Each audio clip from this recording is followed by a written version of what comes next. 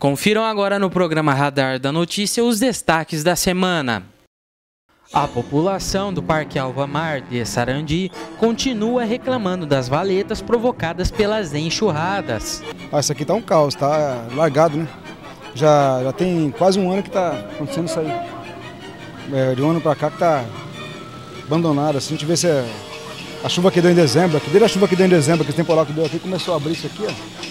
Não parou mais de abrir. Toda a chuva que, que cai, forte, cai, eles arrumam asfalto, um asfalto fraco aí, vai, vai ficando assim a vida inteira. O pessoal diz que não dá para arrumar porque tá chovendo. Muita chuva? Não, mas quando teve, teve um tempo muito seco aqui, de maio até dezembro, não fizeram nada. De maio até dezembro, ficou um tempão sem, sem chover.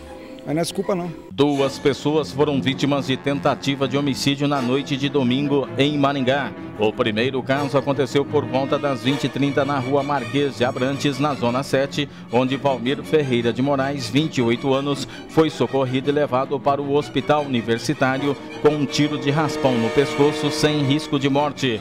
Após receber informações da vítima, a polícia prendeu o autor do disparo, Gilberto Dias Lima, 31 anos, num barracão localizado na Avenida Guaíra, com a rua Belo Horizonte. Além do revólver calibre 38, a polícia apreendeu diversos objetos e 35 embalagens de crack. Gilberto está à disposição da Justiça no cadeião da nona SDP.